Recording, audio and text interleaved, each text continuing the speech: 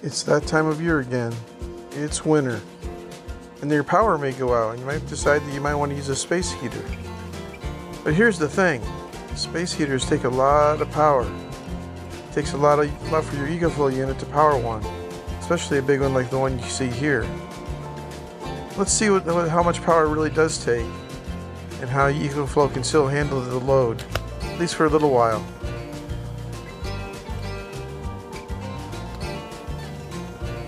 This is the top of this is the top of the space heater. We're about to turn it on.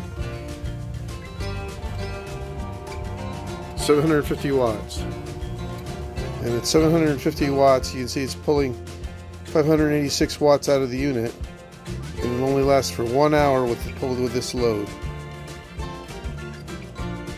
Now, now let's turn it up to 100 or 1500 watts. There we are at 1000 watts.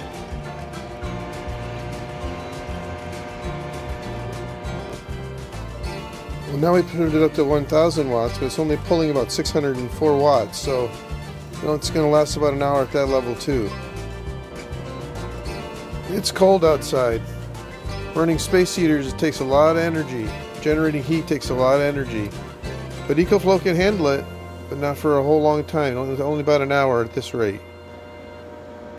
So whether it's 750 watts or a 1000 watt heater, the EcoFlow unit can handle it so if you need heat in the winter, you can do this. As a point, as a point of reference, try to plug your space heaters directly into the EcoFlow unit or into a proper extension cord, such as a uh, 10 or 12 gauge cord, because otherwise your cords are going to heat up. Well, that does it for this episode of EcoFlow Power for Living. Thanks for listening, and we'll see you next time.